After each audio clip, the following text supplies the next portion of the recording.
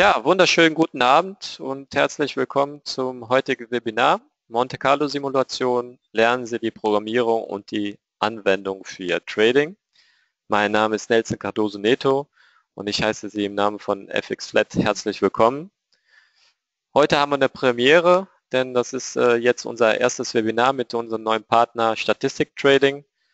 Und äh, bevor ich an den Juri äh, weitergebe, möchte ich Ihnen natürlich auch zeigen, wo Sie bei uns ähm, erste Informationen zu unserem Partner finden können. Ähm, und zwar unter dem Punkt Training und dann Trading Partner. Dann zum nächsten Punkt natürlich dann Statistik Trading. Hier haben wir schon ein paar Infos. Können Sie gerne auf die Unterseite gehen und dann entsprechend hier mal kurz durchlesen und natürlich dann auch die Seite äh, von Statistik Trading äh, besuchen. Und äh, ja, dann wollen wir auch gar nicht so viel Zeit verlieren. Juri, wenn du soweit bist, natürlich auch äh, ähm, herzlich willkommen an der Stelle. Und ähm, wenn du mir ein kurzes äh, Go gibst, dann gebe ich dir den Bildschirm. Jo, müsste er zu hören sein, oder? Das ist richtig. Ich übertrage jetzt. Ja. Und dann. Vielen Dank. So, dann mal Bildschirm übertragen. Ja, hallo, ich heiße erstmal. Also man hört mich, ja? ja, mal. alles gut. Ich sehe deinen Bildschirm, man hört dich. Und wünsche natürlich ah, viel Spaß an der Stelle. Ja, danke. Also ich heiße Sie erstmal alle herzlich willkommen, dass Sie hier so zahlreich erschienen sind zu meinem ersten Online-Webinar. Fangen wir mal erstmal an. Da es wird sich der Großteil der Präsentation oder des Online-Webinars äh, sofort in der Excel-Tabelle. Die wird dann von der Excel-Tabelle stattfinden. Ich werde aber zu der äh, Monte Carlo-Simulation noch äh, eine kleine Einleitung geben und die findet dann quasi in der normalen Präsentation statt. Das ist dann unsere Agenda oder unser Inhaltsverzeichnis für heute. Beginnt an mit, wer bin ich eigentlich, dass ich hier ein Webinar halten darf was ist eine Monte Carlo Simulation? Wieso die Monte Carlo Simulation nach äh, meiner Meinung wichtig ist? Also ich rede jetzt immer von äh, subjektiver Meinung. Es gibt bestimmt Trader, die halten die für weniger wichtig, für mehr wichtig. Dann, wie ich die Monte Carlo Simulation als Robustheitstest verwende, als Signifikanztest, aber auch als Forecast-Methode für mein Trading.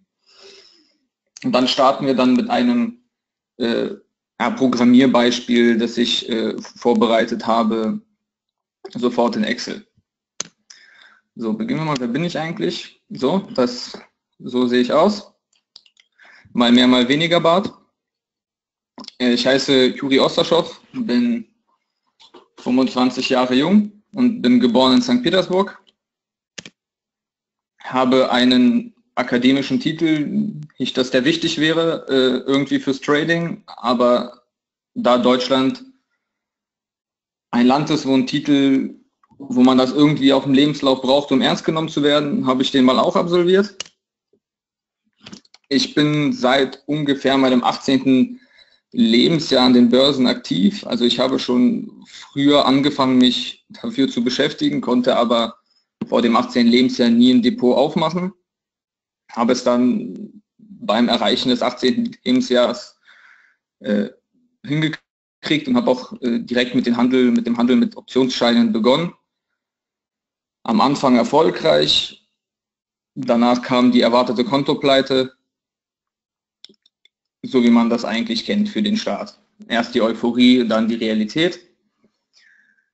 2000, Im Jahr 2016, also ungefähr anderthalb, also knapp anderthalb Jahre her, vielleicht ein bisschen weniger, äh, habe ich das Unternehmen Statistic Trading gegründet. Es hat alles angefangen mit einem kleinen Blog und hat sich jetzt in die Richtung entwickelt, dass äh, ich mich freudigerweise als FXLET-Partner benenne, wo ich immer äh, auf dem Blog äh, veröffentliche sowohl Aktienanalysen, aus meinem, äh, aus meinem Algorithmus als auch äh, Content zu statistischen äh, zu statistischen Methoden, wo ich auch vielleicht Börsenfloskeln widerlege, ähm, können Sie gerne mal reinschauen. Zu der anderen Frage, die gern äh, gestellt wird, nein, ich lebe nicht vom Trading. Ähm, ich bin auch Vollzeit angestellt äh, bei einem Unternehmen im Bereich der Geschäftsfeldentwicklung und der Entwicklung von Geschäftsprozessen, der Optimierung dessen, ähm, weil ich der Meinung bin, man braucht einen bestimmten Betrag X, um nur von der Börse leben zu können. Zumindest, wir reden mal von entspannt von der Börse leben, nicht jeden Tag Daytraden zu müssen. Und äh, solange dieses Geld meiner Meinung nach, also aus meiner Sicht nicht erwirtschaftet ist, ist für mich der Börsenhandel äh, ein reiner Vermögensaufbau. Also da wird halt äh, Schritt für Schritt ohne Auszahlung das Vermögen immer weiter aufgebaut. So, dann kommen wir jetzt mal, da ist genug von mir in dem Sinne. Fangen wir mal an, was ist eine Monte Carlo Simulation? Vielleicht wissen das viele, vielleicht auch nicht. Deswegen beginnen wir mal ein bisschen damit. Die Monte Carlo Simulation an sich ist eine mathematische Technik der äh, quantitativen Analyse, wird viel im Bereich der Stochastik, also im Bereich der Statistik verwendet, um äh, Zufallsexperimente durchzuführen, worum es dann halt auch geht. Die Monte Carlo Simulation soll dabei helfen, verschiedene Eintrittswahrscheinlichkeiten darzustellen. Es geht darum, dass wenn Sie einen Backtest gemacht haben, nehmen wir mal einen Zeitraum von drei Jahren und Sie haben x Trades, sagen wir 1000, dann, ist, dann haben Sie eine Equity-Kurve. Wir werden im späteren Teil das auch alles nochmal äh, auf Excel dann live durchgehen. Dann ist dieser eine Hacktest immer nur eine, eine Ansicht der Verteilung von Wahrscheinlichkeiten. Das heißt, dass die Monte Carlo Simulation, so wie ich es jetzt hier geschrieben habe, würfelt sozusagen die Wahrscheinlichkeiten eines Systems irgendwie querbeet durch bei bestimmten Parametern und zeigt die verschiedenen Ausgänge.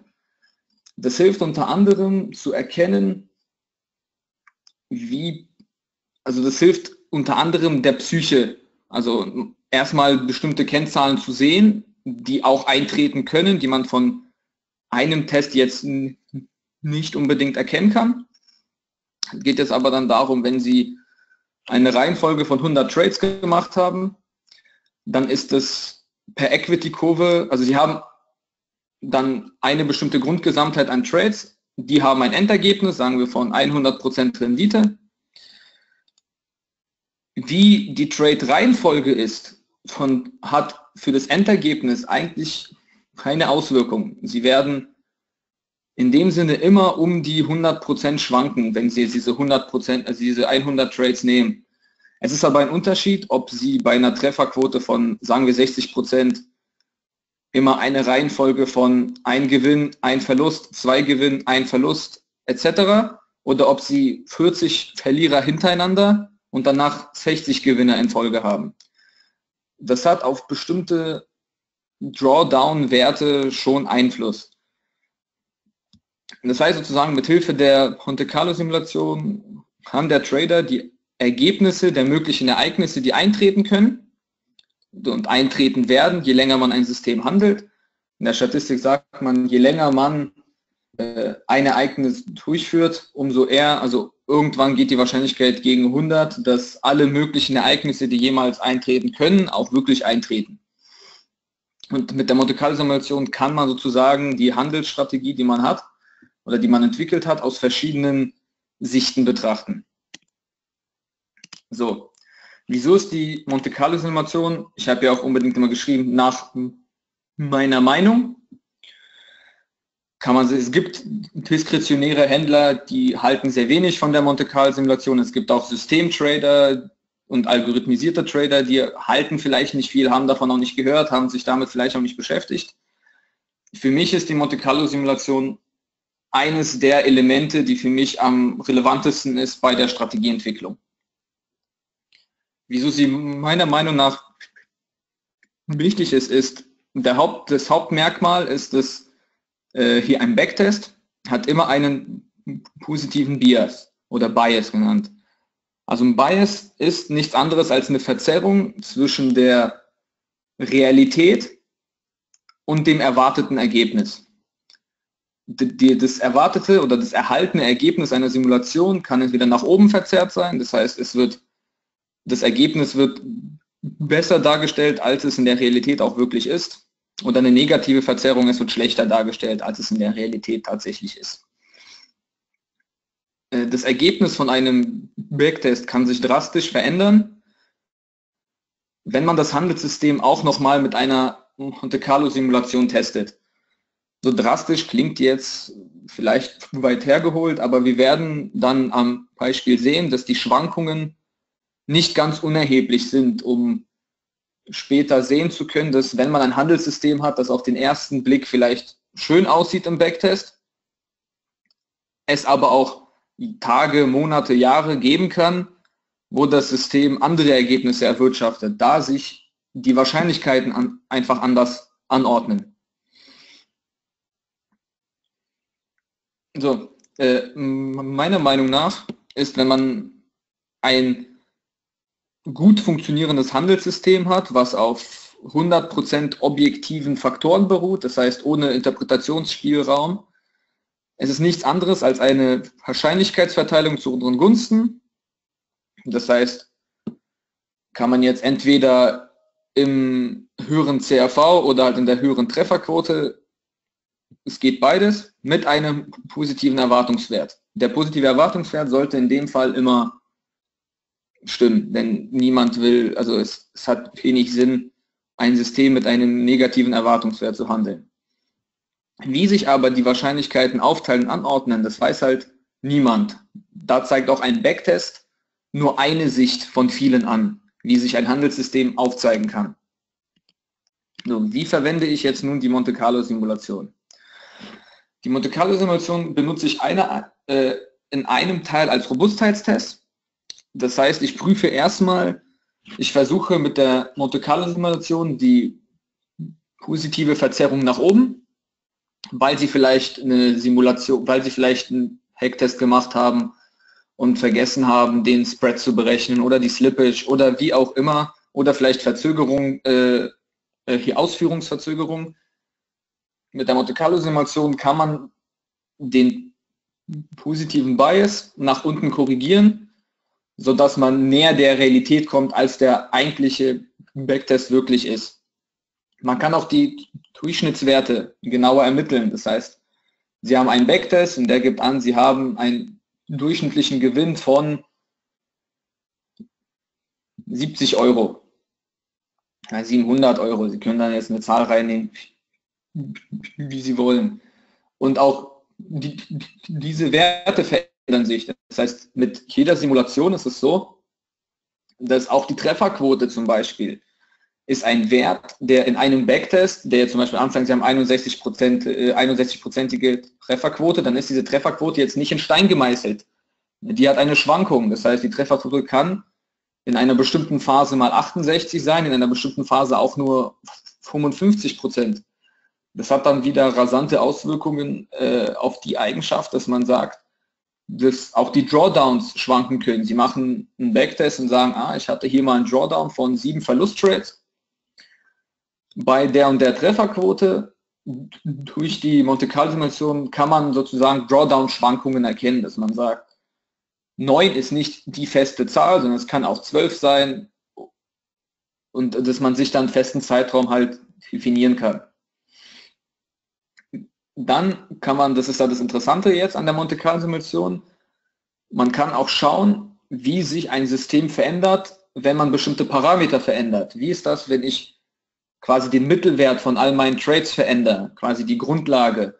Wie ist das, wenn ich die äh, Standardabweichung verändere? Wie ist das, wenn der Drawdown mal größer, mal kleiner ausfällt? Wie wirken alle diese Parameter im Endeffekt auf das Handelssystem? Handelt es immer noch äh, profitabel oder ist das so, wenn ich den Mittelwert um einen minimalen Betrag verändere, dass das System nur noch im Plus-Minus rum, rum äh, äh, hier Plus-Minus Null, also Break-Even-Bereich rum äh, eiert. Oder ist es so, dass es dann trotzdem immer noch Gewinne erzielt, aber mit äh, größeren Seitwärtsphasen? Das ist alles, das sind alles Faktoren, die man mit der Monte Carlo Simulation im Nachhinein ermitteln kann. Die benutze ich die Monte Carlo Simulation als Signifikanztest. Jetzt wird es meistens etwas komplizierter, weil das ist eine Thematik, mit der sich eigentlich die wenigsten beschäftigen. Es geht da, es ist eigentlich Logik. Das heißt, es ist, und Logik ist ein Fach, was auch, wenn es komisch klingt, nicht immer für jeden logisch erscheint. Das heißt, Sie machen einen Backtest und Sie haben einen, ein positives Ergebnis erzielt. Dieses positive Ergebnis haben Sie anhand von einem Signal erzielt. Das heißt, Sie haben bestimmte Parameter, sagen wir, der EMA 200 kreuzt den EMA 20 von unten oder von oben und dann kriegen Sie ein Long- oder Short-Signal und dies führt dann im Endeffekt dazu, dass Sie nach Ihrem, nach Ihrem Backtest auf der Uhr einen Gewinn von, sagen wir, 10.000 Euro haben. Das heißt im Umkehrschluss aber nicht, dass dieses Signal, was Ihnen quasi den Trade generiert, auch wirklich, sie, auch wirklich der Ursprung von dem Ertrag ist, den Sie erzielen. Das heißt, Sie haben jetzt A, als Ergebnis kommt B, das ist der positive Backtest. Jetzt haben Sie als Ergebnis den positiven Backtest, das heißt jetzt nicht unbedingt, dass das Signal auch unbedingt den Ursprung dafür hat. Das muss man erstmal überprüfen. Jetzt stellen natürlich dies, mir wurde auch mal in einem Gespräch die Frage gestellt, ist das denn nicht egal, solange ich Geld verdiene? Theoretisch ja, solange Sie, solange Sie Geld verdienen, haben Sie eigentlich recht an der Börse. Es ist aber ein gewaltiger Unterschied, wenn ein System vielleicht anfängt, stärkere Drawdowns äh, anzuzeigen oder zu generieren oder auch die Seitwärtsphasen sich verlängern, dass man dann genau weiß, ähm, es, also, dass man jetzt nicht auf die Suche geht und versucht, das Handelssignal zu optimieren, weil wir im, Umkehr, äh, halt im Umkehrschluss wissen, wir haben zwar Geld verdient, aber das Signal war nicht der Ursprung, war nicht der Ursprung dessen. Wie schon unten steht, das positive Ergebnis hängt nicht unbedingt von unserem Einstiegssignal, sondern es kann auch andere Faktoren besitzen. So, äh, im Umkehrschluss ist es somit zu untersuchen, dass ob ein Einstiegsmarkt auch in einem zufällig generierten Markt erfolgt hat. Das heißt, Sie können theoretisch, das ist jetzt aber ein bisschen komplexer, das macht man im Normalfall auch nicht mit Excel, weil man mit, ganz besonders bei Daytrading-Strategien, eine größere Datenbasis braucht und die schafft Excel dann einfach nicht. Da brauchen Sie dann andere Probleme wie, äh, also gibt auch andere, äh, quasi andere Software, mit der man das machen kann. Das Grundprinzip ist aber, dass die äh, Grundsystematik ist aber immer die gleiche, ob Sie einen Robustheitstest machen, Signifikanztest oder einen Forecast.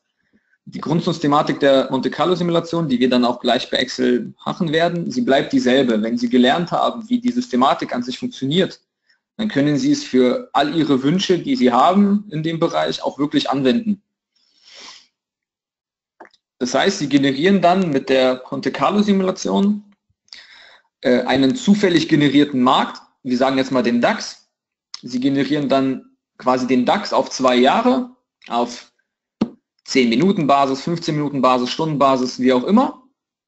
Und Sie haben dann sozusagen einmal einen Markt, also einmal den DAX als Referenzmarkt, wo der, wo tatsächlich, der tatsächlich gepreist ist. Das heißt, dort sind wirkliche Marktteilnehmer, die wirkliche Bewegungen ausführen, die, wo alles mit Volumen stattgefunden hat während die Monte Carlo Simulation ja ein auf es ist zwar aufgrund der Datenbasis des DAXes, aber es ist an sich ein zufällig generierter Markt mit zufällig generierten Daten.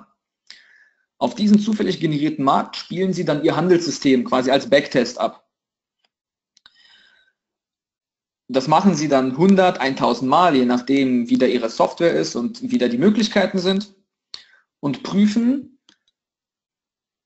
ob sie ein positives Ergebnis in einem zufällig generierten Markt haben. Sagen wir, Sie machen 100 Simulationen und von diesen 100 Simulationen auf einem zufällig generierten Markt waren 80 positiv. Dann können Sie davon ausgehen, dass mit einem bestimmten Signifikanzniveau, dass ähm, Ihr Handelssignal keinen tatsächlichen Marktvorteil hat, also keinen statistischen Vorteil am Markt, da er in einem zufällig generierten Markt genauso positive Ergebnisse erzielt. Haben Sie in einem zufällig generierten Markt schlechtere Ergebnisse als die des Backtests? Wir, ne wir nehmen jetzt mal aus davon, dass also dann genau der umgekehrte Fall, Sie haben 80 schlechtere Ergebnisse. Wie Sie dann schlechter definieren, hängt ganz bei Ihnen.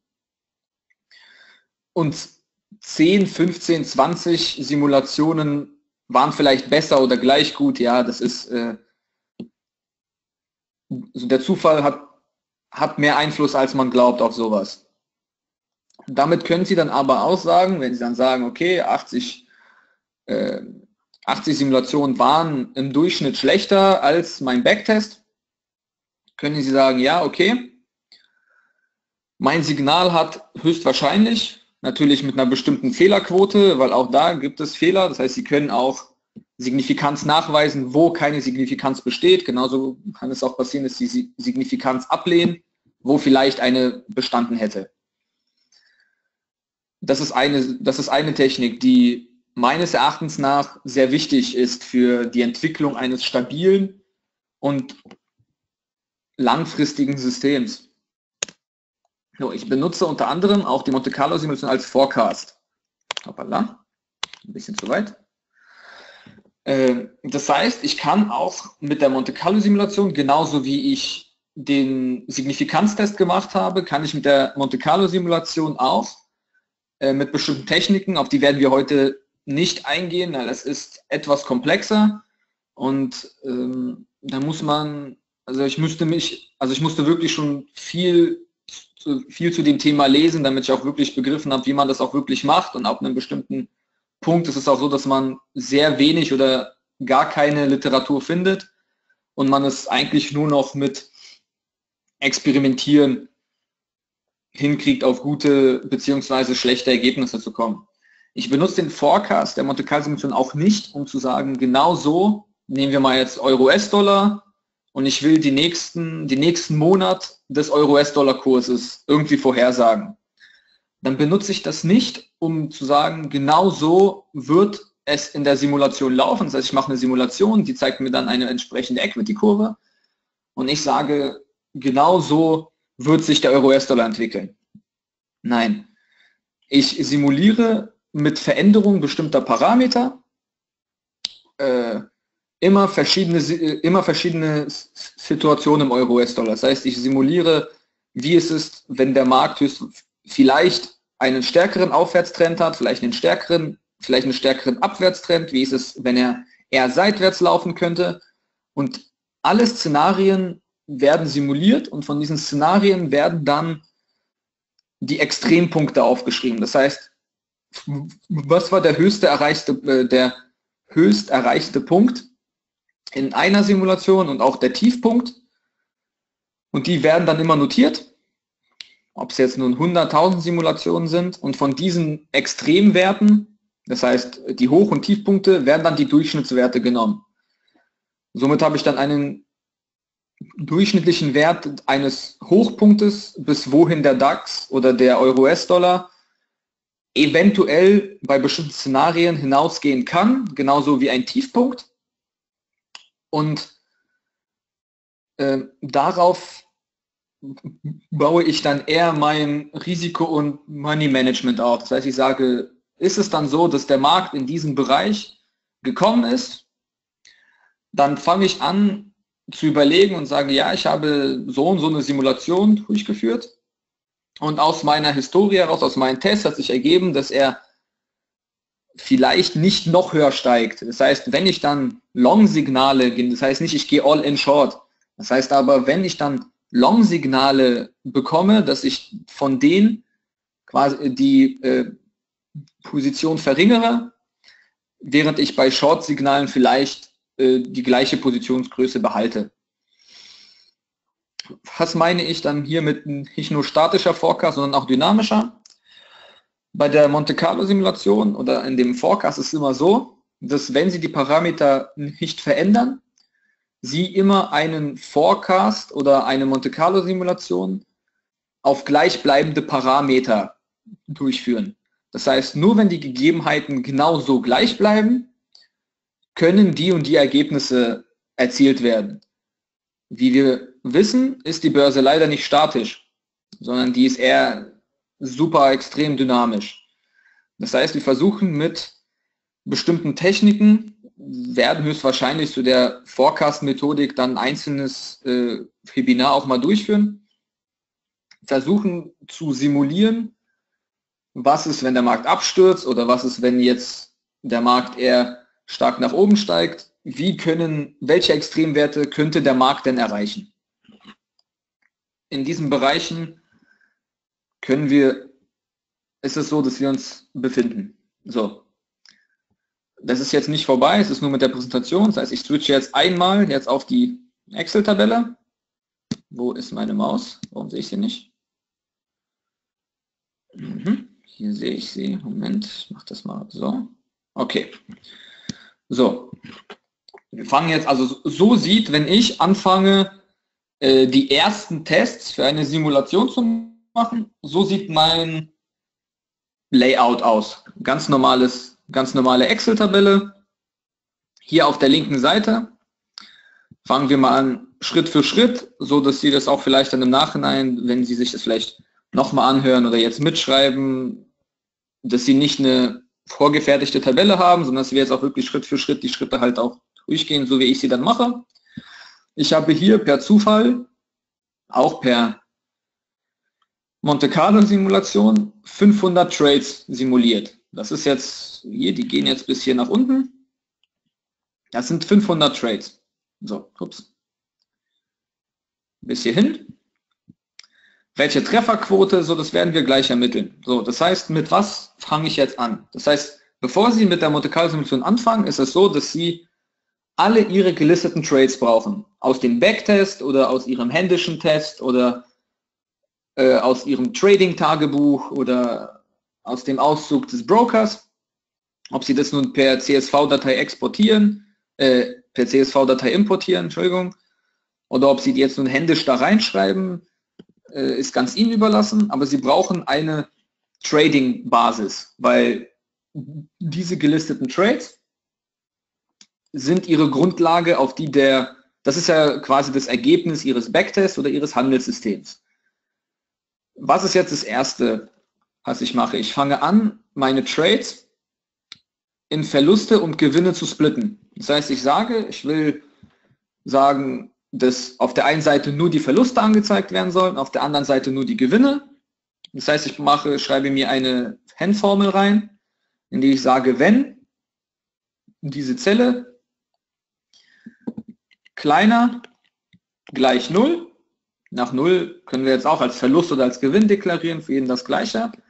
Wenn dieser Parameter wahr ist, das heißt, wenn jetzt die Zelle A2, diese 10 Euro, kleiner sind als kleiner gleich 0, dann soll mir der Wert angezeigt werden. Ist er nicht wahr, dann soll mir nichts angezeigt werden. Stellt man dann bei Excel mit zwei Gänsefüßchen da. Macht die Klammer zu. Sozusagen, wie man sieht, er zeigt, äh, hier zeigt er jetzt nichts an, da 10 größer ist als 0 äh, und nicht kleiner. Und hier müsste er jetzt wieder minus 10 anzeigen. So. Die Formel schieben wir jetzt bis ganz nach unten durch. Ob wir es jetzt mit Doppelklick machen oder nicht, machen wir das mal alles langsam Schritt für Schritt. Genau das gleiche machen wir jetzt nun auf der anderen Seite. Das heißt, wenn diese Zelle größer 0, dann soll die Zelle angezeigt werden, sonst soll die Zelle leer bleiben. Jetzt steht halt hier 10.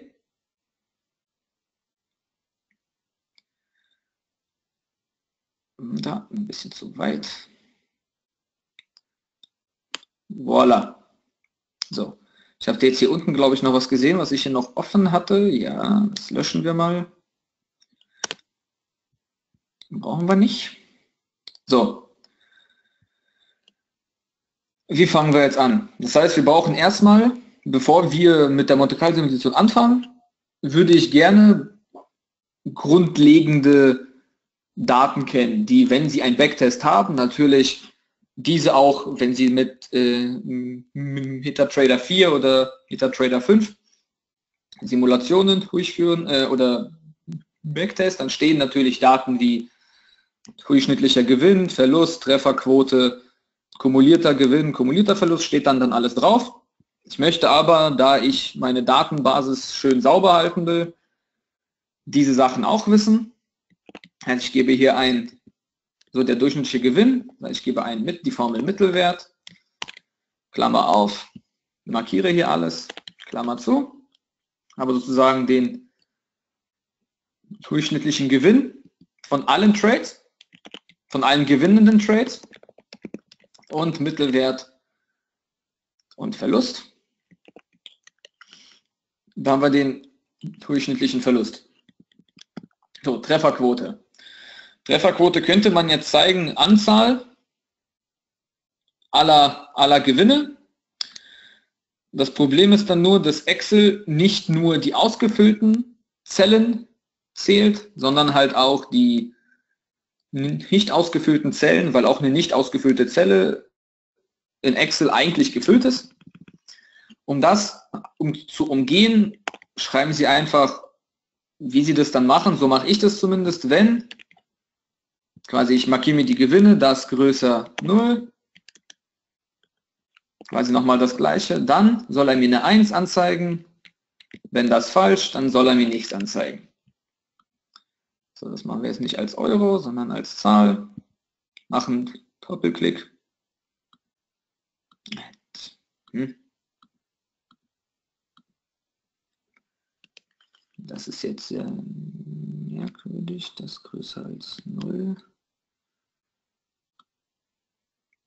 Das ist jetzt merkwürdig, dass er mir das jetzt hier so anzeigt. Hm. Dann müssen wir nochmal löschen. Kann halt auch, deswegen machen wir das auch live, weil solche Fehler halt auch passieren.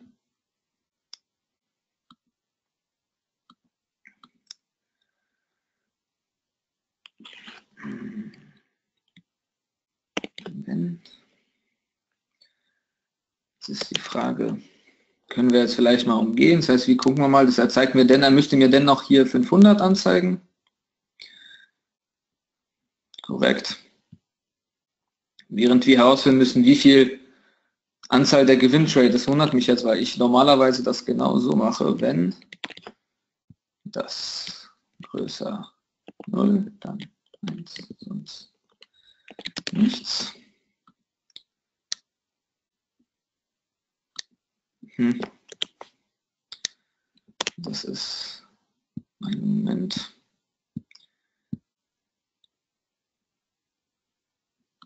Weil generell hm, ist ja wie bei einer Live-Sendung hier, dass man jetzt überlegen muss, machen wir mal das so hier.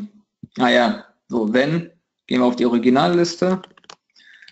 Da war der Q, wenn das gleich größer 0, dann 1, sonst nichts. So. So, jetzt haben wir es. Da war der Fehlgedanke. Jetzt ziehen wir, das heißt, wir machen das auf die Grundgesam, also auf unsere Datenmenge, ziehen die Formel durch. Wir wissen, wir haben 500 Trades. Nehmen jetzt nicht unten, sagen wir an, nehmen jetzt nicht die Anzahl, wir nehmen jetzt die Summe. Also wir sehen in Summe 273. Das heißt, unsere Trefferquote ist 200 73 teilt durch 500 haben wir eine Trefferquote von 55,6 Prozent, äh, 54,6 und die Gegenwahrscheinlichkeit ist natürlich 1 minus den Gewinn. Das heißt 45,4 Prozent ist dann unser Verlust. So sieht unsere Trefferquote-Aufteilung aus. Rechnen wir jetzt einen der wichtigsten Faktoren, das heißt den Erwartungswert. Der Erwartungswert errechnet sich, indem wir den durchschnittlichen Gewinn mal die Gewinn, die Trefferquote des Gewinns plus, Klammer auf, durchschnittlichen Verlust mal Trefferquote Verlust. So, und erhalten wir einen positiven Erwartungswert von 8,20 Euro. Das heißt, im Großen und Ganzen, dieses System hat einen positiven Erwartungswert. Das ist kein wirkliches Handelssystem. Ich habe einfach per Monte Carlo Simulation irgendwelche Zahlen eingetippt. Es könnten aber echte Faktoren sein. Also so kann auch ein Backtest aussehen. Dann brauchen wir kumulierten Gewinn für den Profit-Faktor auch ein, eine Kennzahl, die ich gern wissen wollen würde. Dafür brauche ich die kumulierten Gewinne, das heißt die Summe aller Gewinne und ich brauche die Summe aller Verluste. Und dann errechnet sich das mit dieser Formel. Das sind der kumulierte Gewinn geteilt durch den kumulierten Verlust. Je nachdem, wie Sie den kumulierten Verlust anzeigen lassen, bei mir ist er hier mit Minus gekennzeichnet, müssen Sie nochmal mal minus 1 nehmen, um die Minus, äh, um das äh, Minusvorzeichen vorwegzunehmen. Sonst nehmen Sie einfach den kumulierten Gewinn geteilt durch den kumulierten Verlust, wenn der in der gleichen Einheit ist. Und dann halten Sie auch einen positiven Profit-Faktor von 1,44 in diesem System. So, das sieht ja erstmal schon mal alles gut aus. Heißt, es lohnt sich, das mal zu testen. Was brauchen wir jetzt für unsere Monte Carlo Simulation? Das Wichtigste, wir brauchen unseren Mittelwert. Jetzt gehen wir nochmal Mittelwert ein. Das ist ja schön an Excel. Viele Formeln sind schon vorgeschrieben. Mittelwert von allen Trades, die wir hier haben. Er gibt einen Mittelwert von 8,20 Euro gleich Erwartungswert. Und wir brauchen die Standardabweichung. So. Standardabweichung ist in dem Fall Stab.S. Auch von all unseren Trades. So. Jetzt haben wir hier Kennzahlen. Das heißt, was sagt die Standardabweichung aus? Die Standardabweichung sagt aus, dass unsere Trades um 56,919 etc. pp. um den Mittelwert schwanken können. Das heißt, wir haben jetzt hier nochmal eine, wenn Sie die Gaußsche Glockenkurve nennen, dann wissen Sie ungefähr 68,8 Prozent aller möglichen Ergebnisse im Bereich der einfachen Standardabweichungen sich befinden und 95, ungefähr 95 Prozent in einfach der zweifachen Standardabweichung. Das heißt, Unsere Ergebnisse können, nehmen wir mal zwei Standardabweichungen, zwischen, wir können einen Trade von 122 Euro bekommen, das sind 8,20 Euro unser Mittelwert, plus zweimal die Standardabweichung. Genauso können wir aber auch einen Verlust erhalten von unserem Mittelwert minus die zweifache Standardabweichung. Das braucht dann die Monte Carlo Simulation als Datenbasis, um die Trade-Schwankungen simulieren zu können. Jetzt haben wir hier aber noch einen anderen Faktor. Das ist der Standardfehler. Der berechnet sich, indem, hier können Sie, äh, Sie können mir gern, falls Sie die Formeln brauchen oder vielleicht auch die Vorlage haben wollen, schreiben Sie mir einfach an info@statistiktrading.de eine E-Mail und ich sende Ihnen dann die Vorlage, ich sende Ihnen dann ohne Probleme die Vorlage zu. Der Standardfehler ist sozusagen, berechnet sich aus der Standardabweichung geteilt durch die Wurzel der Gesamtmenge der Trades. In dem Fall 500. So, der Standardfehler in dem Fall besagt jetzt, sagt jetzt aus, dass unser Mittelwert an sich um 2,55 nach oben oder nach unten schwanken kann. Das wird dann interessant, wenn wir anfangen gleich mit der Monte Carlo Simulation verschiedene, wenn wir anfangen, die Parameter zu verändern. Schauen wir uns doch erstmal, bevor wir dann äh, weitermachen. Und die erste, das ist jetzt, hier habe ich das jetzt schon mal ein bisschen vorgearbeitet, das ist jetzt, sagen wir, Sie haben ein Konto von 10.000, da Excel so wunderbar ist, können Sie hier Zahlen eintragen, wie Sie wollen. Und dann habe ich halt geschrieben, das soll immer die obere Zahl plus den immer den nächsten Trade aus der, aus der Trade-Liste nehmen. Die Formel ziehen wir dann quasi durch. Das ist jetzt unsere äh, Equity-Kurve unseres Handelssystems, unseres imaginären Handelssystems. So, Gehen wir hier hoch. Gehen Sie hier oben auf, ich, ich weiß nicht mehr ganz genau, was war das einfügen, ich glaube schon. Ja. Und dann gehen wir hier auf Liniendiagramm. Lassen uns das anzeigen und erhalten. Packen wir jetzt mal gleich hier hin. Können wir uns gleich anschauen. Sozusagen sieht die Equity-Kurve, so würde die Equity-Kurve eines Backtests aussehen, wenn Sie den jetzt in MetaTrader 4 durchgeführt hätten oder 5 oder WealthLab, Ninja Trader, was es da für Software gibt. Ich weiß jetzt nicht genau, ob Ninja Trader, ob man da auch einen Backtest machen kann. Ähm, schreiben wir Original Equity, damit wir es später auch wissen. So. An dieser Equity können wir erkennen, wir beginnen mit so, 10.000 Euro Kapital und dann geht das hier schön hoch. Dann haben wir hier eine Seitwärtsphase von ungefähr fast 100 Trades dann geht sie wieder runter, dann geht sie wieder in eine Seitwärtsphase und es geht hoch.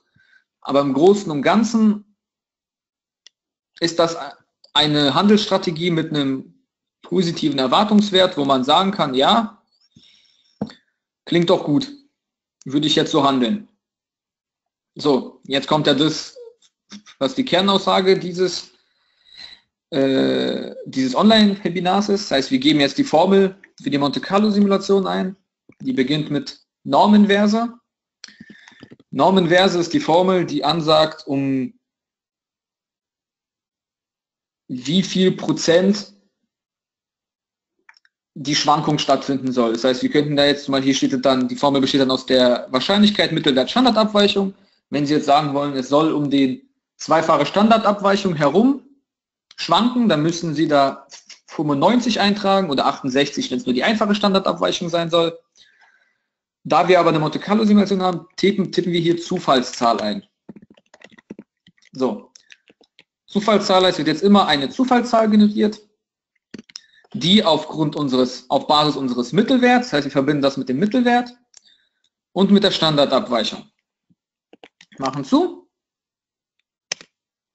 und erhalten, voilà, einen Trade. Jetzt ist jetzt wichtig, nicht vergessen, Sie müssen, Sie müssen die Formel fixieren. Haben Sie einen äh, haben Sie einen Windows-Rechner, dann müssen Sie nur auf die Zahl klicken und dann auf F4. Haben Sie einen Mac, müssen Sie immer die Dollarzeichen eingeben. Sollte jemand wissen, mit welcher Taste man sofort die Zelle fixieren kann, dann bitte an mich melden. Ich konnte bis jetzt im Internet noch nichts finden. Und auch an sich ist es so, wenn jetzt hier jemand auffällt, dass ich vielleicht einen, einen kleinen Fehler gemacht habe oder äh, in der Durchführung vielleicht auch einen Fehler gemacht habe, weil ich schusselig bin oder sonst was, mich bitte immer auf Fehler aufmerksam machen. Ich bin da nicht sauer, ich bin da eher glücklich. Bei mir, wir sind ja alle in der Lernphase und wir profitieren von gegenseitigem äh, Know-how-Austausch. So, jetzt haben Sie die Formel fixiert und ziehen die Formel jetzt in dem Sinne so viel Trades, wie Sie nur wollen, durch. So, schieben wir jetzt mal für alle Fälle, damit wir auch genug Trades haben. So, jetzt haben Sie eine Simulation.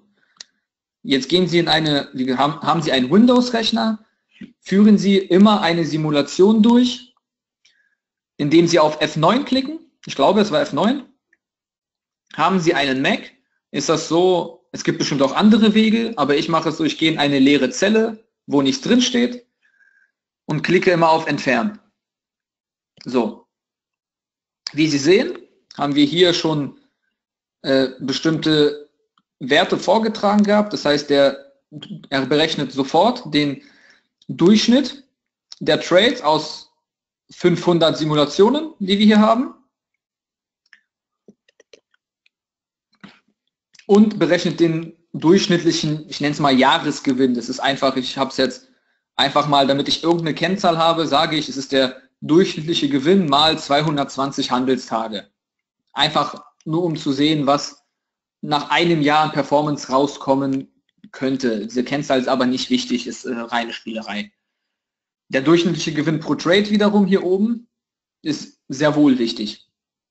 So, und jetzt können Sie an sich, wie Sie sehen, immer wenn Sie auf Zurückklicken oder auf F9, je nachdem, wie viele Leute das jetzt auch äh, parallel mitmachen oder aber wenn Sie das danach machen sollten, Sie können, haben Sie immer ein anderes Ergebnis. Sie sehen, Sie haben mal 9,50 Euro pro Trade und hier haben Sie mal 4,86 und so weiter.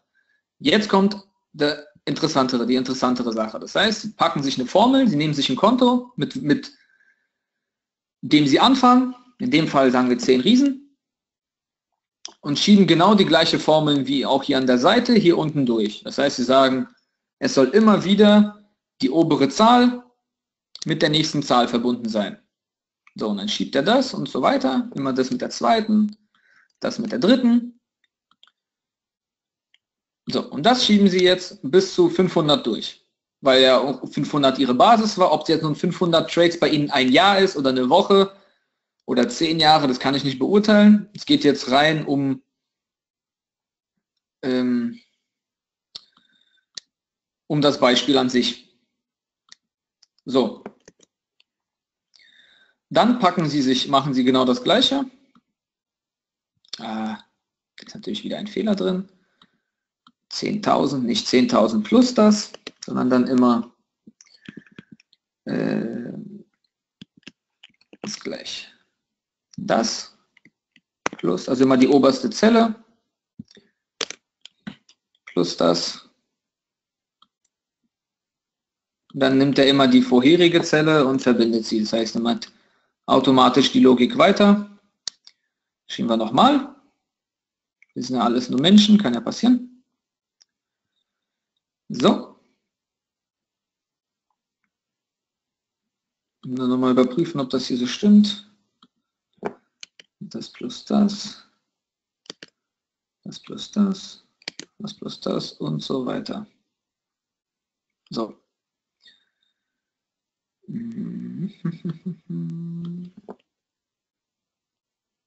Genau, so. Nochmal hier überprüfen, ob das hier alles hinhaut. So. Und jetzt nehmen wir unsere Simulation, die natürlich auf der Grundlage des Hacktests basiert. Markieren die 500 Trades. Zuck, zuck, zuck. So. Gehen dann wieder hoch, damit die Formel nicht ganz unten ist. Dann wieder auf Einfügen.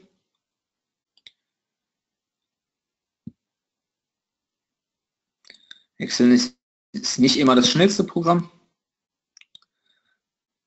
Vielleicht auch mein Rechner langsam, kann ja auch sein. Und machen wieder einen Linienchart raus. So.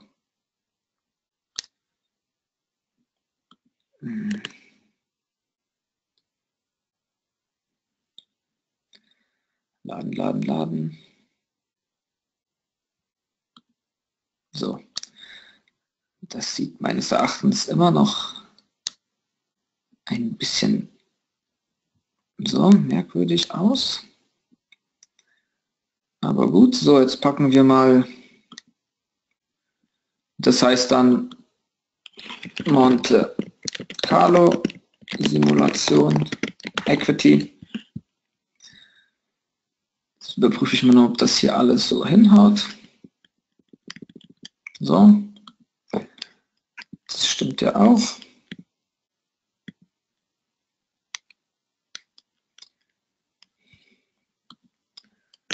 Dass wir hier noch einen Fehler gemacht haben.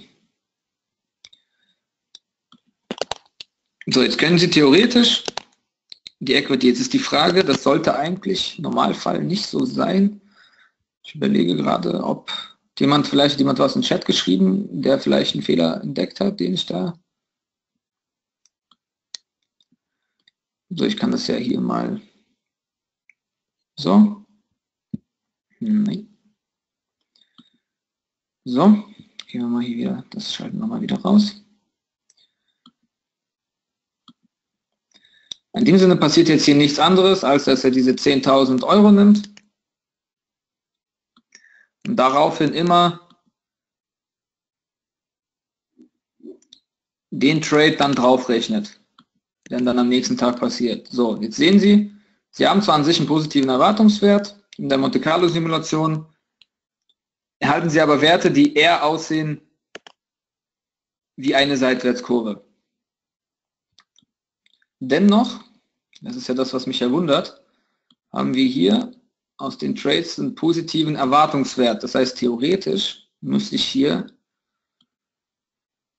ähm, das ist halt, wenn man nicht alles in einer fertigen Formel hat, überlege ich gerade, ob, äh, Moment, Moment, Moment, 10.000, 10.000 plus in 2, das. Ja, aber das haut alles hin, also das ist ja nicht hier, warte noch einen Moment. Das kann nicht sein.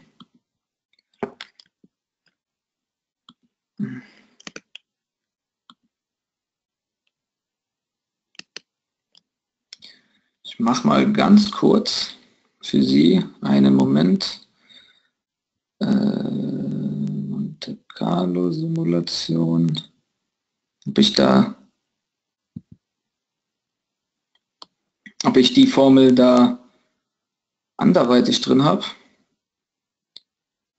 Ähm, falls ich mich jetzt hier nicht im Eifer des Gefechts Habe ich eigentlich hier auch so. Und das dann hier 5000. Juri? Ja. Guck mal in den Chat, da gab es ein paar Hinweise der Teilnehmer. Gab es tatsächlich ein paar Hinweise, ja. Also das heißt, wenn ich mich jetzt jetzt... Kann ich das hier auch größer machen? Also da hat einer geschrieben, in einer äh, Zelle fehlt eine Formel. Und ein anderer Teilnehmer hat geschrieben, erste Zelle der Reihe muss runterwandern. So, Moment. Ähm So. Kann man, ist das möglich, dass sie größer zu... Ah, okay, alles klar. Erste Zelle für eine Formel, die Zelle der Reihe muss runterwandern. Heißt, kann man da, welcher Zelle, also jetzt mal ganz blöde Frage, jetzt fragen wir mal das, ich benutze mal den Publikumsjoker.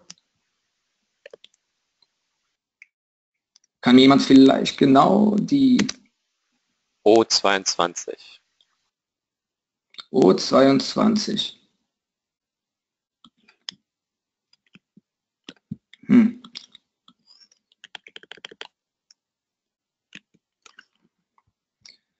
So. Ja, da fehlt tatsächlich, also das ist jetzt aber immer noch nicht ausschlaggebend dafür. Das ist jetzt sehr mehr, also meine Güte. Dass mir das, dass das jetzt passiert hier. Moment, nochmal, bitte. Jetzt.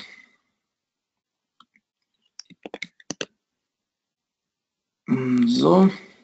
Fragen wir mal nochmal Publikum. Nicht. Ja, U16 muss Formel aus U16 nach unten ausfüllen.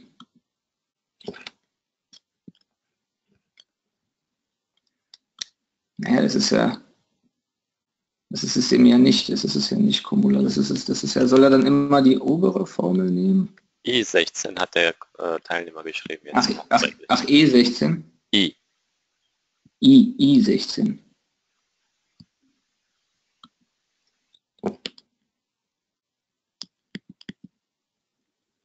I16 haut ja hin, das ist es ja.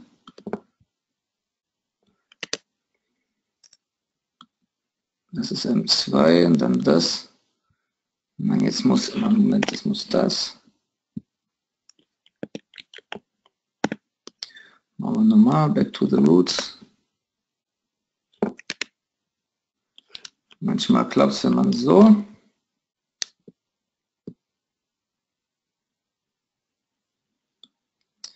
Theoretisch müsste da jetzt eine wachsende Kurve, zumindest nicht so eine Seitwärtskurve entstehen.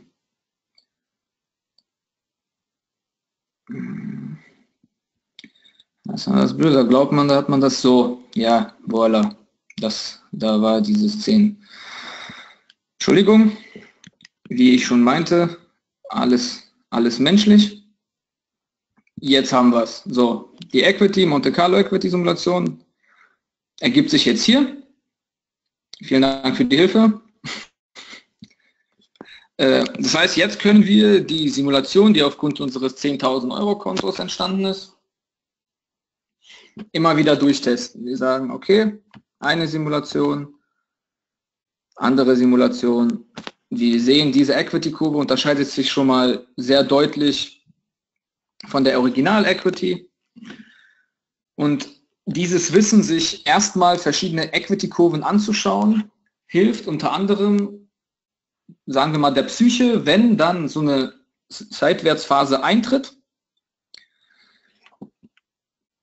dass wir sagen, okay, ich weiß, ich habe zwar einen positiven Erwartungswert und es muss nicht unbedingt hier immer sofort draufgehen, sondern es kann auch, wenn wir mit der Strategie beginnen, haben wir hier eine Serie von 136 Trades, die einfach seitwärts laufen. Das heißt, wir haben zwar ein System mit einem positiven Erwartungswert, was, je länger wir das Spiel mitspielen und die Parameter, wenn sollten die Parameter gleich bleiben, im Großen und Ganzen, wir einen positiven, ein positives Ergebnis erzielen, wie wir sehen. Dann war ungefähr auch hier bei 14.000. Nur der Weg dahin ist ein deutlich anderer. Andere 500 Trades. Hier ist zum Beispiel, Beginn war sogar erstmal mit einem Minus. Können wir auch gucken, haben wir hier eine Drawdown-Formel. Ich werde dann, falls jemand die Vorlage haben will, ähm, natürlich dann alles per äh, mit vorgefertigt, also wie ich das habe. Ich tippe ja meistens normalerweise nur die Zahlen schon ein. Ich habe alles schon vorgerechnet und tippe die Zahlen nur ein, wollte jetzt aber mal live immer alles per Hand eintippen und wie Sie sehen, auch wenn man es eine Million Mal gemacht hat, es passieren Fehler. So, jetzt haben wir hier, das ist die äh, Drawdown-Formel, der nimmt dann immer 1 minus Differenz davon und immer den Maximalwert. Ziehen Sie dann durch, können Sie das auch, können wir markieren und sagen, wie schaut denn da, wie sehen denn da die Drawdowns aus? Halt einfügen. Hier machen wir ein Balkendiagramm statt ein Liniendiagramm, das ist immer deutlich angenehmer. Ähm, aber nächstes Diagramm. Zack. Fügen wir zur Monte Carlo Simulation zu weil es uns die Draw, immer ja die Drawdown-Werte der Monte Carlo-Simulation anzeigt. Natürlich können Sie die Formel auch auf Ihre Original-Equity haben, aber im Normalfall sehen Sie das ähm, in der Formel, äh, in, in, Ihrem ähm, Backtest oder in Ihrer Equity. Das heißt, wir gehen hier Draw, Down, mm, Monte Carlo. So. Und können jetzt nur sagen, okay, hier, wir haben auch Drawdowns von 5%. So. so knapp 5. Jetzt können wir das simulieren und sagen, können anschauen, ah, was ist denn so der durchschnittliche können Sie können sich auch dann in die Formel Oszillatoren reinbauen oder ist vieles möglich. So viel Zeit haben wir aber nicht, damit wir wirklich die ganze Thematik auch wirklich im Detail behandeln können.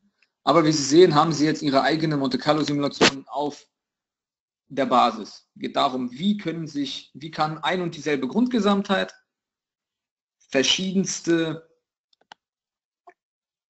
äh, an, äh, verschiedenste Reihenfolgen annehmen. So, was ist denn jetzt für unsere Simulation wichtig? Das heißt, wir sagen, jetzt in dem Fall haben wir hier oben nochmal Tabellen und ich sage, um wie viel kann denn unser Erwartungswert schwanken. Das heißt, wir müssen, brauchen jetzt hier ähm, nehmen wir mal Erwartungswert, Erwartungswert gleich Mittelwert. Das heißt, wir haben hier den durchschnittlichen Gewinn pro Trade. Das heißt, wir sagen, wie kann denn, jetzt machen wir das mal jetzt blöd händisch. Normalerweise kann man sich auch genug Monte Carlo Simulationen hintereinander aufstellen.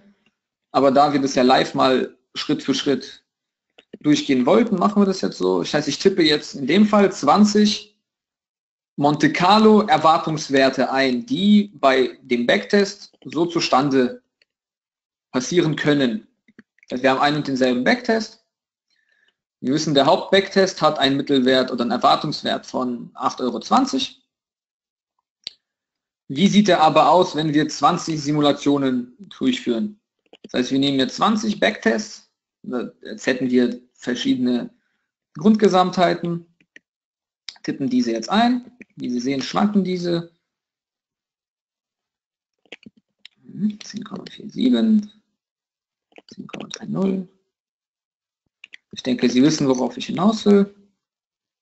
8,86,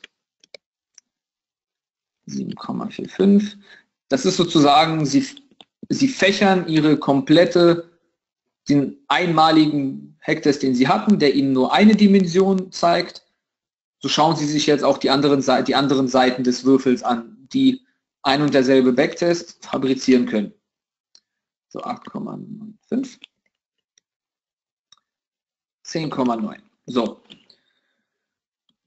Jetzt sehen wir, geben wir hier Mittelwert ein sagen, was ist denn der Mittelwert unserer Mittelwerte? Dann kommen wir auf einen Wert von 8,83. Der sogar in dem Fall, da wir es ja so machen, sogar besser ausfällt als der Mittelwert. Wir sehen aber, dass der kleinste angezeigte Erwartungswert 5,48 Euro ist. Das heißt, man kann auch mit solch einem Erwartungswert in einer bestimmten Periode rechnen. Genau das gleiche können wir jetzt auch hier mit der Schwankung der Trefferquote machen und mit Schwankung des Drawdowns können Sie sich dann, indem wie Sie, wenn Sie wollen, schreiben Sie mir eine E-Mail, schicke ich Ihnen das zu, müssen die Zahlen eintippen, können Sie das ausbauen, umbauen, wie Sie wollen. Das Interessante jetzt an der Sache ist, wenn wir jetzt, sagen wir, den Robustheitstest machen, sagen wir zum Beispiel, okay, wie sieht denn unsere Equity-Kurve aus, wenn wir von unserem Backtest den Mittelwert von 5,84 hier eintragen? So, sagen wir, okay, wir haben jetzt tatsächlich mal 500 Trades mit diesem Mittelwert, der um drei Einheiten geringer ist als äh, unser Original, also unser Ursprungswert. Wie sieht denn dann die Equity-Kurve aus? So, wie Sie sehen, das erste, was einem auffällt, Drawdown ist ungefähr doppelt so hoch. Davor waren, habe ich ungefähr, also jetzt aus dem Auge, ich habe ja fünf, sechs Mal geklickt, waren wir immer bei 4 und 5 Prozent. Wie Sie sehen, kommen wir jetzt hier schon auf 10. Auch, auch die Seitwärtsphasen sind länger geworden. Das heißt, so kann auch passieren. Das heißt, Sie kommen zwar im Endergebnis, wie Sie sehen, höchstwahrscheinlich immer noch auf einen ähnlichen Wert. Der Weg dahin ist aber ein anderer der psychologische Fakt. Es ist eine andere Sache. Es ist ein sehr großer Vorteil zu wissen, dass ein Drawdown auch in der gleichen Strategie, obwohl vielleicht die Ursprungsstrategie nur 3% gezeigt hat, es ein Drawdown von 10% geben kann. Findet dann natürlich ein Drawdown von 13, 14% statt, dann haben sich, dann funktioniert entweder die Strategie nicht mehr, weil XY den, den Ursprung kann man dann ewig suchen. Ähm, oder es ist halt so, dass sich die Gegebenheiten stark verändert haben. Das heißt, sie sagen hier, hier kommen wir sogar dann auf ein Endjahresergebnis von sind wir bei 13.200, 13 das heißt deutlich geringer bei einem Drawdown von 8%. Können Sie hier den, auch den durchschnittlichen Drawdown errechnen. Das heißt, Sie sind psychologisch auf vieles gewappnet. Interessant sind halt immer eigentlich, meiner Meinung nach, Drawdowns sind eine Sache, aber zu wissen, wie lang kann so eine Seitwärtsphase von einem System gehen. Denn eine Seitwärtsphase ist also mindestens genauso schlimm wie ein x-prozentiger Drawdown. Weil es ist auch nicht so angenehm, 100 Trades anzuschauen, dass das System Hand, Trades absetzt, sie aber nach 100, 150 Trades immer noch äh, im Bereich von plus minus null herumschwirren. Genau das gleiche, das können Sie dann auch machen. Wir sagen, okay, wir gehen mal wieder auf unseren Ursprung zurück. Wir gehen jetzt davon aus, hm, hoppala, wir gehen davon aus, dass das hier alles so bleibt. Rechnen mit 820. Wie ist das aber, wenn wir die Standardabweichung verändern? Wir sagen, ey, wie verhält sich denn das System, wenn wir jetzt hier 45,5 als Standardabweichung eintragen? Wird es jetzt schlimmer oder besser? Also, oder ist das System dann wenigstens immer noch profitabel oder weniger profitabel? Da eine geringere Standardabweichung eigentlich immer eine gute Sache ist, wie wir sehen, Drawdowns sind geringer. Ähm, die Kurve sieht normal, also geht auch, hat st deutlich stärkere Trendphasen, da ja die Verlusttrades auch geringer schwanken. Interessant ist es dann zu sehen, was ist, wenn wir die Standardabweichung sagen, hey, kann ja passieren, sehr volatile Phase. Simulieren wir das mal mit 80,896573. Tippen Sie ein, wie Sie gerade lustig sind. Oder wie Sie das jetzt auch errechnet haben. Sagen wir, ah, okay. Was kommt dann bei der Sache raus? Wie wir sehen, dann, dann simulieren Sie das 100 Mal, wie oft Sie wollen, durch. Und sagen, ah, Standardabweichung größer, können wir sogar ein höheres Ergebnis erzielen. Also könnte, wenn Sie das System natürlich zu 100% genauso traden, das ist immer die Prämisse, das heißt, wenn Sie ein System anfangen zu handeln, haben Sie ein Ergebnis im Backtest immer nur, ist es immer nur so viel wert, wie wenn Sie auch 100% der Trades umsetzen. Handeln Sie ein System diskretionär, das heißt also äh, nicht unbedingt diskretionär. Diskretionär sowas zu testen ist so gut wie unmöglich, weil es an sich kein diskretionäre Trader eigentlich so gut wie kein System besitzen, sondern handeln entweder nach Bauchgefühl oder nach äh, Erfahrungswerten. Hm. Können Sie das, es ist mit diskretionären Systemen schwer zu überprüfen. Ist es aber so, dass Sie mal zwei, drei Trades ausfallen, das heißt, ich weiß nicht, Frau krank geworden oder sie müssen Kinder zur Schule bringen oder sie haben schlechte Laune, sie haben heute mal einen Tag ausgelassen, dann verändert sich diese ganze Systematik komplett. Denn wenn ihr System darauf beruht, dass man, dass das in einem Jahr eigentlich auf plus minus null handelt und dann haben sie drei, vier, fünf starke Gewinner, die eigentlich das, die Jahresperformance erwirtschaften, und sie verpassen diese. Das heißt, jetzt, sie haben einen Tag ausgesetzt und da war einer dieser Trades oder vielleicht auch zwei. Dann können, dann sieht die Equity-Kurve ganz anders aus. Also da gibt es auch andere Methodiken, um das zu überprüfen. Das heißt, wie Sie sehen hier, Sie simulieren. Das ist ein und dieselbe Strategie mit einer bisschen anderen Standardabweichung, wenn sich die Parameter gegebenenfalls verändern. Da haben wir hier erstmal, das ist ja das generell das Schlimmste, was einem, was man sich so vorstellen kann. Sie beginnen mit 10.000 Euro und sind nach 154 Trades bei minus 8.600, äh, haben einen Verlust von 1.382 Euro erlitten. So. Ist jetzt, es ist immer ein Unterschied, wenn man diese Sache weiß, oder wenn man diese Sache nicht weiß. Das heißt, wenn Sie in der Simulation gesehen haben, ey, sowas kann auftreten, dann zwingt es Sie nicht mehr zu irrationalen Handlungen. Das heißt, Sie greifen nicht in das System ein, weil Sie sagen, ey, ich habe 100 Simulationen durchgeführt, habe mit den Parametern gespielt, äh, nach einer bestimmten Regel natürlich, nicht einfach so, und sehe, ey, sowas kann passieren, das ist nicht atypisch. Dann, wunderbar, simulieren Sie das immer weiter durch. Das heißt, sagen Sie, ah, okay, ich kann auch Seitwärtsphasen von 190 Trades haben. Genau die gleiche Systematik benutze ich dann auch bei, wenn ich den Signifikanztest mache. Das heißt, ich benutze die gleiche Systematik, ich nehme mir eine Historie und simuliere den DAX auf ein Jahr. Dann packe ich einen Backtest auf dieses Jahr und prüfe, ist das Ergebnis schlechter oder besser. So, sollte schlechter sein, besserweise, wenn man Signifikanz nachweisen will. Mache ich einen Forecast, habe ich auch eine Grundlage an Trades, rechne und fange an, aufgrund der Gegebenheiten mir die Kurse vorzucasten. Und dann simuliere ich das durch und markiere mir äh, dann hier eine Excel-Tabelle oder also eine Extra-Tabelle die Parameter, die interessant sind. Also wir können jetzt auch zum Beispiel testen, was ist, wenn wir die geringste von den 20 Simulationen, normalerweise sollten Sie nicht 20 nehmen, machen Sie bitte mindestens 100 Simulationen, am besten vielleicht auch mal 200, 300.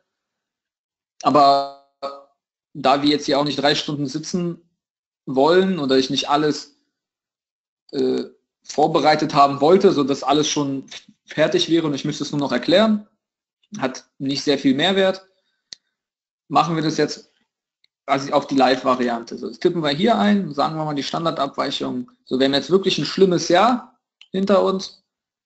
Was passiert, wenn wir hier 110, das heißt, es schwankt hier mal um 110.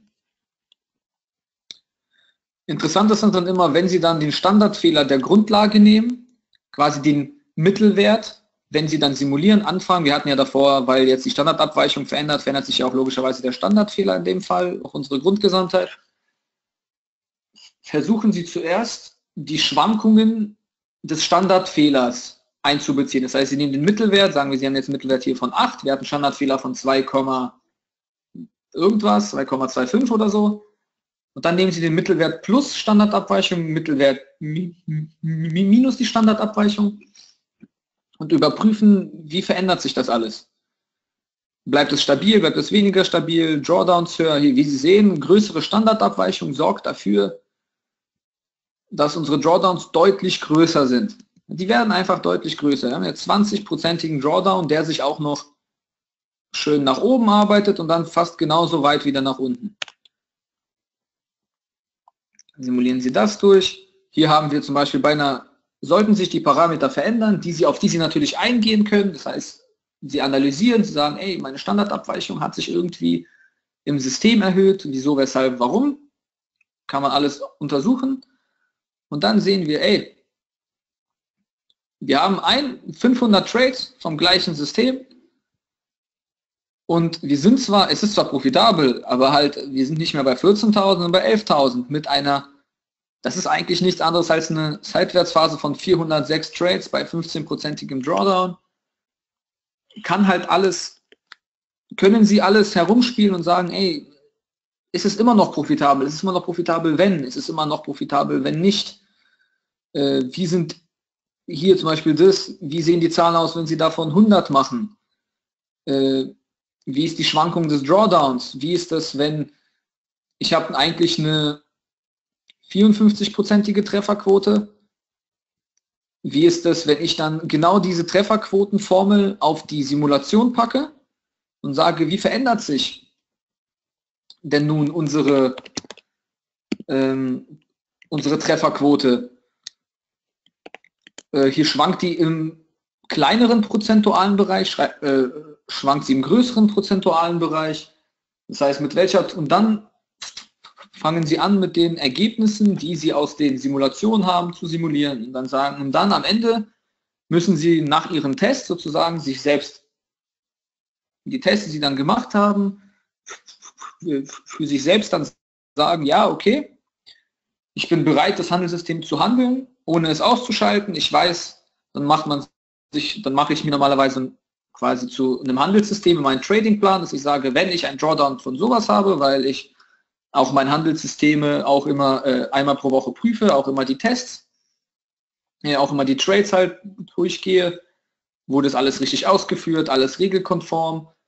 Äh, wenn das alles so ist, gehe ich dann die Trades durch und sage, okay, es ist alles in Ordnung oder nicht. Und das müssen Sie dann halt im Endeffekt für sich selbst entscheiden. Wenn Sie sagen, ja, ich möchte kein Handelssystem, was, wenn ich, was zum Beispiel hier, jetzt sowas kann auch passieren, ich habe die Parameter gleichgestellt, lustigerweise, also nee, der Mittelwert ist immer noch der kleinere. Bei geringer Standardabweichung und kleineren Mittelwert passiert, wie Sie gerade gesehen haben, genau so eine Equity. Und dann schauen Sie, wie stabil ist das alles. Haben Sie das getan? Entscheiden Sie für sich selbst. Hier, das ist ein und dieselbe Strategie. Diese Backtest ergibt einen Gewinn von 14.102 Euro. Und diese Simulation basierend auf den gleichen Daten, andere Wahrscheinlichkeitsaufteilung, macht eine Equity-Kurve, die weniger attraktiv ist. Dann ist die Frage, würden Sie die Strategie handeln, wenn Ihr Backtest so ausgesehen hätte? Dann könnte ja theoretisch auch so aussehen. Würden Sie eine Monte Carlo-Simulation durchführen, würde diese Simulation auch solche Werte ausspucken. Eröffnet halt einem ganz neue Möglichkeiten. Ich gehe mal, ich würde mit diesem, mit dieser Thematik sozusagen, mit dem allerletzten Test hier, auch das äh, Webinar beenden. Ich danke Ihnen vielmals, dass Sie die Geduld hatten, mein, unter anderem meinen kleinen Fehler hier zu untersuchen und mir auszuhelfen, dass ich da wieder auf die richtige Schiene gekommen bin. Äh, und ich hoffe, es hat Ihnen Spaß gemacht und Sie konnten was mitnehmen. Ich schaue mal noch mal ganz kurz, ob wir hier noch Fragen haben. Soweit erstmal keine Fragen, äh, beziehungsweise doch eine Frage war da, und zwar kann man daraus das äh, Pleiterisiko errechnen. Kann man auch, klar. Das heißt, Sie können dann in dem Sinne per ähm, quasi Ihre ma maximal machbare Tradinggröße äh, erwirtschaften, also untersuchen. Das heißt, Sie können dann sagen, okay, wie ist das, wenn ich mit so und so viel Kontrakten handle äh, und ich habe ein dementsprechend kleines Konto, wie hoch kann ich gehen, sodass vielleicht von 100 Simulationen nicht eine Simulation ein Drawdown höher als 100% hat. Wenn Sie dann sagen, ja, ich bin bereit, das Risiko zu tragen,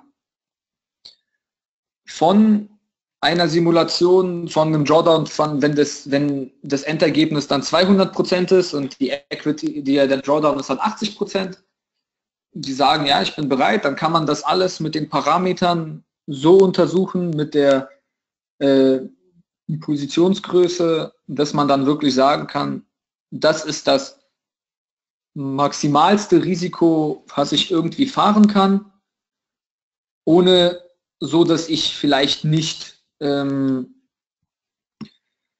nachzahlen muss oder in dem Fall, also im CFD-Bereich kann man ja mittlerweile auch nicht mehr nachzahlen, aber sagen wir im Optionen, im Bereich Optionen und Futures ist das immer noch ohne Probleme möglich.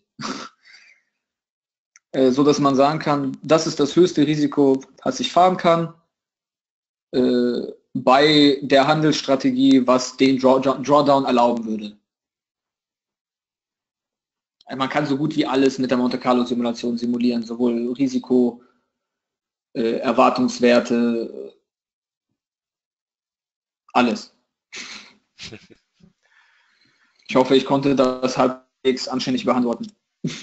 Kann der Teilnehmer ja gerne sich nochmal dazu äußern. Sonst, sonst, wenn andere Fragen noch entstehen, ich bitte Sie gerne dazu, mir schreiben Sie mir eine E-Mail. Äh, ich haben Sie interessante Fragestellungen? Bitte her damit. Ich setze mich damit gern auseinander. Ich hab, ich mag das. Also der Teilnehmer, der die, Frage, der die Frage gestellt ja. hat, hat sich bedankt. Die Frage wurde Danke für die Frage. Zufriedenheit äh, beantwortet. Ich bedanke Danke mich auch an der Stelle äh, und dass man, äh, wenn man hier das Ganze live macht und äh, mal den kleinen, kleinen Überblick verli verliert, oder man eine Formel nicht findet. Äh, ich glaube, dafür hat jeder Verständnis. Und äh, man kann sich das Ganze ja natürlich dann auch nochmal in Ruhe angucken, ähm, wenn die Aufzeichnung online ist. Ich denke auch, dass das nicht das letzte Webinar ist. Im Gegenteil, ähm, sehr interessantes Thema auf jeden Fall. Und äh, man sieht das auch an den Feedbacks der Teilnehmer.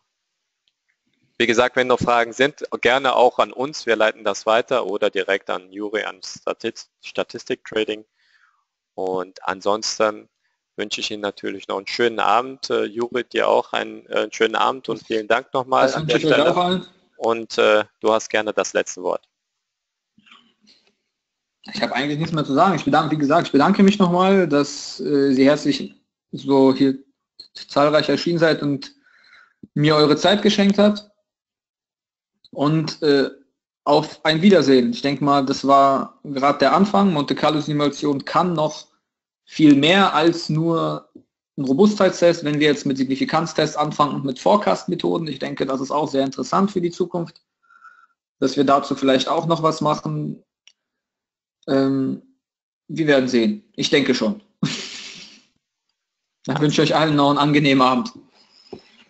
Okay, super. Tschüss zusammen. Ciao, ciao.